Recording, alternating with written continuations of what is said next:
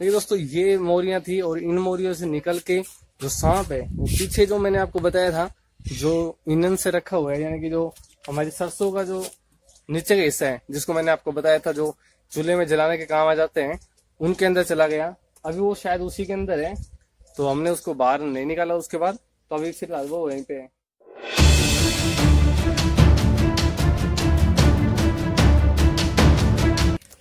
Hello everyone welcome to the channel. दोस्तों आज मैं जहाँ पे खड़ा हूँ एक्चुअली में जो भैंस है उसका चारा रखने का एक रूम सा बना रखा है। और इसके अंदर क्या है दो दिन पहले यहाँ पे एक सांप निकला था। देखिए मैं आपको दिखाता हूँ कहाँ पे था वो। वो यहाँ पे क्या है जो फ्रॉग होते हैं जो मेंढक होते हैं उनके लिए आया था। यहाँ एक मिट, यहाँ मिट्टी का ढेर पड़ा हुआ है।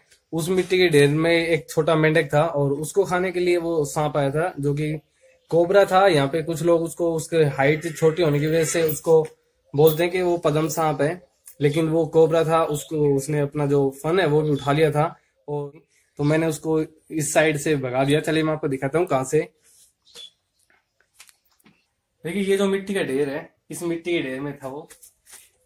यहाँ पे अगर आप देखेंगे तो ये जो होल से आपको दिख रहे हैं, इन होल्स के अंदर था, और इन होल्स के अंदर वो यहाँ बैठा हुआ था, और नीचे जो मिट्टी है, इस मिट्टी के अंदर जो एक मेंढक था, जो कि बाद में जब मैंने इस मिट्टी को तोड़ा, तब उसके अंदर से निकल के आया। तो वो मेंढक को खाने के लिए आ जाते हैं। तो बाहर की साइड से वो आया। मैं बाहर की साइड वो दिखा देता हूँ आपको।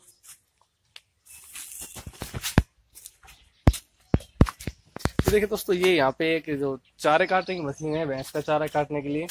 आपने देखा होगा भी पीछे की साइड से चारा वो देते हैं और इस साइड से इसको घुमा के चारा काटते हैं। हालाँकि ये अभी खराब हो चुकी है। इसको ठीक करेंगे जब इसकी ज़रूरत पड़ेगी। तो देखिए, इस साइड से जो मोरी है और सामने जो खेत है तो खेत में से वो निकल के आया था कहीं से, क्योंकि अब काफ़ी तेज गर्मी हो गई है तो वो इस साइड से एंट्री उसने की थी अंदर। और देखिए, ये, यहाँ पे वो निकल के आया था। तो जब हमने देखा एक्चुअली में क्या हुआ, यहाँ पे जब कोई आया था यहाँ पे जो मेरे पानी देने वाली जो पाइप है, वो रखी थी। और उस पाइप की वजह से, उस पाइप को लेने के लिए, हमारी जो भाभी जी है, वो लेने आई थी पाइप को। तो उन्होंने देखा कि यहाँ पे जो सांप है वो बैठा हुआ था इस मिट्टी के ढेर पे। तो उन्होंने जाके मुझे बताया। मैं उस टाइम पे शायद मंदिर में था तो मैं भाग कर आया और हम काफ़ी यहाँ पे लोग इकट्ठा हो गए थे सांप को देखने के लिए। जिसकी वजह से जो सांप है वो डर जाता है। जब ज़्यादा लोग हो जाते हैं तो सांप क्या डरने लग जाता है तो वो डर गया। डर के मारे वो यहाँ से भागने की कोशिश की, लेकिन कुछ कुछ लोग इस दीवार के उस साइड थे तो जो सांप है वो डरने लगा। और वो क्या इस होल जो दीवार में जो हॉल है, जो इस तरह के हॉल है इस इन हॉल के बीच में वो बैठ गया, ना उस साइड गया, ना इस साइड गया। तो फिर हमने क्या किया, उस साइड से जो एक कपड़ा लगा हुआ था, वो हमने हटा दिया। तो फिर हमने क्या किया, हमने सिर्फ़ इस साइड से उसको हल्की सी आवाज़ की किसी डंडे से तो वो दूसरी साइड से निकल के चला गया। और उसके बाद वो कहाँ पे गया, चलिए मैं आपको दिखाता हूँ।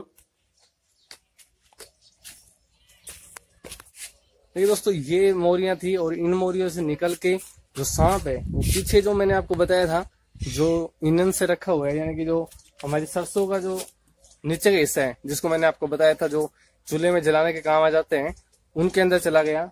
अभी वो शायद उसी के अंदर है तो हमने उसको बाहर नहीं निकाला उसके बाद तो अभी फ़िलहाल वो वहीं पे है। मैं आपसे सिर्फ़ शेयर करना चाहता था कि आप जो गर्मी है, वो स्टार्ट हो गई है, और यहाँ पे काफ़ी सांप निकलते हैं। और मैं आपको और भी चीज़ बताता हूँ लास्ट ईयर भी मेरे यहाँ पे घर पे जो है, दो सांप निकले थे। अगर आप सब्सक्राइबर हैं पुराने तो आपको पता होगा कि मैंने आपको बिल्लियाँ दिखाई थी जिसने जो दो छोटे बच्चे थे बिल्ली के, उन्होंने क्या किया, जो बच्चे थे, वो वहाँ पे जो सांप है, वो मेरे रूम की तरफ़ एंट्री कर रहा था। मेरे रूम में जो खिड़की है, खिड़की के पास से एंट्री कर रहा था। मॉर्निंग में शायद मॉर्निंग में छह बजे होंगे या उससे पहले की बात है। मैं तब सोया हुआ था अंदर। तो जो बड़े भाई हैं, वो बाहर आए। उन्होंने देखा कि जो बिल्ली है वो वहाँ पे बैठी है और बिल्ली बार बार जो वहाँ पे एक सोफा रखा है, सोफे का जो कवर है, उसको बार बार खींच के बाहर निकाल रही थी। तो उससे क्या हुआ, जो सोफा है, सोफे का जो कवर होता है ऊपर का, वो बार बार नीचे खींच रही थी। भाई को लगा कुछ अजीब सा हो रहा है, पता नहीं क्या है। भाई ने क्या किया, आगे चले गए उन्होंने उनको किचन से शायद पानी वगैरह लेना था तो किचन में गए। जब वापस आए तो उन्होंने फिर से देखा तो उन्होंने सोचा, चलो चेक करते हैं। तो वहाँ पे गया उसके दो बच्चे थे। बिल्ली के दो बच्चे थे और बिल्ली थी। एक्चुअली बिल्ली क्या कर रही थी? उस सांप को अंदर जाने से मना कर रही थी और वो उसको पंजे से खींच खींच के बाहर लेके आ रही थी। तब भाई को पता चला, भाई ने भाई आए और फिर यहाँ पे एक जान पहचान के जो कि सांप को पकड़ लेते हैं, फिर उनको बुलाया और उन्होंने उसको पकड़ कर जंगल में छोड़ दिया। उसके बाद क्या हुआ? तो दोस्तों, इस गर्मी में क्या यहाँ पे काफ़ी सांप निकलते हैं तो बहुत ही हमें केयरफुली रहना पड़ता है यहाँ पे, क्योंकि जितने तेज गर्मी होगी, सांप को क्या गर्मी ज़्यादा अच्छी नहीं लगती तो वो ऐसे ही करते हैं। वो गर्मियों में बाहर आते हैं और ऐसी जगह ढूंढते हैं जहाँ पे उनको थोड़ी सी ठंडक मिल जाए या जो कुछ खाने को मिल जाए, जैसे कि अगर उसको कोई जो चूहा वगैरह है वो मिल जाते हैं तो वो खा सकते हैं। वो ज़्यादातर जो सांप है, यहाँ पे ऐसी जगह पे निकलते हैं जो कि आपको दिख रहा है, इसको यहाँ पे बोलते हैं छप्पर। अब तो अगर आप इसके ऊपर देखेंगे तो आपको एक टीन दिख रही होगी, जो कि सीमेंट की है। अब सीमेंट की टीन यूज़ होने लगी है। पहले क्या होता था, जो अगर आप, पता नहीं, जानते हैं नहीं, घास टाइप में एक प्लांट होता है यहाँ पे जो, जिसको यहाँ पे बोलते हैं झुंडा। उसको क्या, उसकी एक लंबी लंबी पत्तियाँ होती है, काफ़ी लंबी लंबी और उन पत्तियों से जो कच्चे घर बनाए जाते हैं, जिनको छप्पर बोलते हैं तो इसकी छत पहले उसकी होती थी तो उस, उसके अंदर भी काफ़ी सांप जो वो छिप जाते थे। वो दोस्तों, देखिए, इस तरह का जो छप्पर है, पहले इस तरह के होते थे, जिनके अंदर इस तरह की जो मैंने आपको बताया था प्लांट जो है, वो होते थे। तो इनके अंदर गए सांप इजीली छिप जाता था, क्योंकि ये ठंडा होता है इसके अंदर गर्मी कम होती है, धूप कम होती है तो वो ठंड के हमारे इनके बीच में जो स्पेस है, इनमें आके छिप जाता था। तो मेरे घर के पीछे जो घर है, इनके पास ऐसे छप्पर अभी भी हैं कुछ, क्योंकि इनके पास जो भैंस है, वो काफ़ी है तो इसलिए इन्होंने काफ़ी बना रखे चलिए मैं आपको और दिखाता हूँ। देखिए, सामने भी है। ये दोस्तों, जो पहले है, वो इस तरह से जो छप्पर है, वो होते थे। अब टीन डालने लगे हैं, जो सीमेंट के हैं। और अंदर की साइड देखे तो और भी जो ऐसी जगह जहाँ पे सांप इजीली छिप सकते हैं और उनको जो गर्मी है, गर्मी से वो बच सकते हैं क्योंकि काफ़ी ठंडा होता है। अब इस तरह के छप्पर देखने को नहीं मिलेंगे। सिर्फ़ इन्हीं के पास इस तरह की छप्पर है तो मैं ये आपको दिखाने के लिए यहाँ आया हूँ। क्योंकि इनके पास जो भैंसे देखिए, काफ़ी है। सामने भैंसों को जो चारा डालने का है, वो बना रखा है।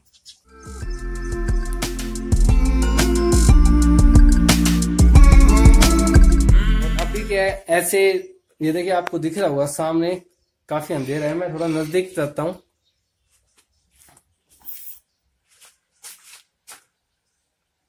दोस्तों, काफ़ी अंधेरा है, आपको शायद नहीं दिखेगा। यहाँ पे एक्चुअली में क्या है, जो चारा है, भैंस का, वो है।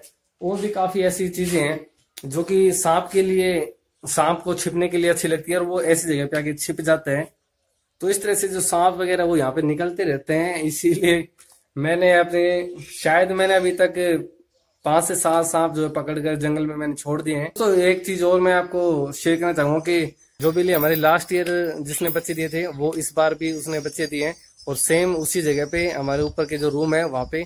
तो वो मैं आपको दिखाऊँगा। काफ़ी छोटे छोटे क्यूट बच्चे हैं व्हाइट कलर के हैं। लास्ट ईयर एक ब्राउन कलर का था और एक जो दूसरा था, वो ब्लैक कलर का था। लेकिन इस बार दोनों बिल्कुल व्हाइट कलर के हैं। और मैं जब स्टार्टिंग में बिल्ली के पास गया, तब उसने जो खाना खाने से मेरे, मुझे देख के काफ़ी दूर भाग गई और मुझे भी कुछ, उसने डराने की कोशिश की, जैसे आवाज़ करके करती है वैसे। लेकिन बाद में जब मैंने उसको फ़ूड देना स्टार्ट किया तो एक या दो दिन के बाद जब मैं दोबारा गया तो वो बिल्कुल मेरे नज़दीक आने लगी। अब वो मुझे इतना जान पहचानने लगी है कि आज अगर दोपहर में उसको कुछ खाना होता है तो वो सीधा मेरे रूम की तरफ़ आती है और वहाँ के म्याऊ म्याऊ करने लगती है। तो मैं समझ जाता हूँ उसको कुछ खाना है तो मैं उसको कुछ खाने के लिए ऊपर रख आता हूँ। सेम ऐसे ही अब जब मैं उसके नज़दीक जाता हूँ तो बिल्कुल टच भी करने देती है। मैं उसको हाथ भी लगा सकता हूँ, बिल्कुल मेरे पास बैठ जाती है तो अब डरती नहीं है वो। और क्योंकि लास्ट टाइम हमने, हमको इसी बिल्ली ने बचाया था, इसलिए मैं इस बार भी इस बिल्ली को यहीं पे रखूँगा और इसके बच्चों को भी यहीं पे रखूँगा, ताकि शायद दोबारा से सांप वगैरह आए तो ये थोड़ी हेल्प कर सकती है, क्योंकि सांप को ये भगा सकती है इजीली हालाँकि जो डॉग्स होते हैं आई थिंक वो इतना नहीं करेंगे सांप को, वो सांप से सांप से आपको आगा तो कर देंगे कि यहाँ पे सांप है, लेकिन वो उसको छूते नहीं है। दूर से ही ऐसे ऐसे घूमेंगे। लेकिन जो बिल्ली है, वे अपने पंजे से उसको बाहर फेंक सकती है। चलिए, आपको बिल्ली मैं दिखा देता हूँ कैसी है। हालाँकि जो वीडियो क्लिप है, वो आपको थोड़ी साफ़ नहीं दिखेगी, लेकिन ठीक है।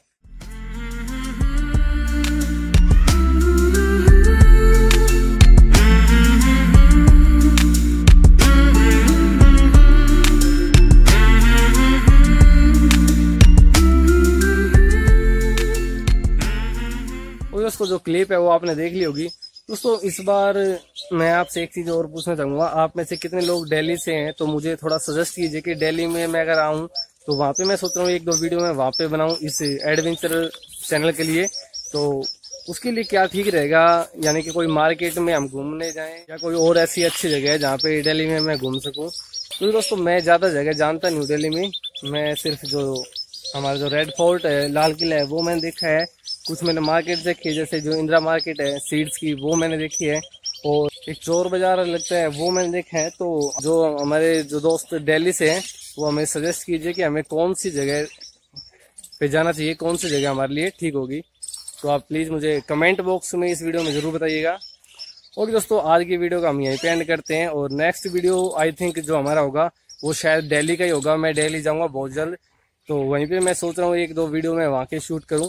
अगर अच्छा रहा तो मैं वहाँ के और भी वीडियो शूट करूँगा, क्योंकि मैंने इंटरनेट पर देखा था, काफ़ी चीज़ें वहाँ पे अच्छी है जो घूमने लायक है। तो एक वीडियो के साथ हम फिर मिलेंगे। तब तक अपना ख्याल रखिए। शुक्रिया।